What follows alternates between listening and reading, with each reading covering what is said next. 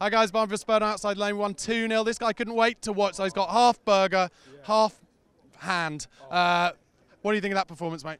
statement. It's a Yeah. statement. I mean, you know, all the other big clubs, they've all had these huge wins. Even Arsenal, the scum, they've even had their win over Chelsea. That is our statement win. We're in the title race now. We're in it. You know, Yeah. I think we've we've sent shockwaves around the league. We're in it. Yeah, absolutely. We've got uh, a few games coming up, and then after that, we've got the, the November month where we've got West Ham, Chelsea, Arsenal.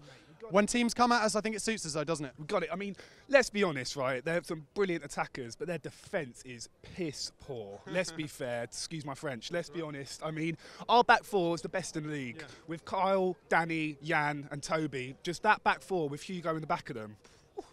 No one's going to beat us, I don't think, with that. I mean, we dominated them today, winning balls high up the pitch. You know, fucking um, Wanyama.